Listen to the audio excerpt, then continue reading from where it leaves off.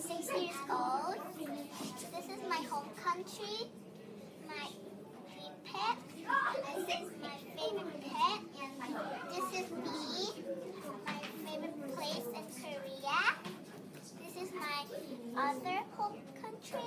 This is my favorite place in Hong Kong. This is my um, brothers, my little brother and my big brother. This is my family.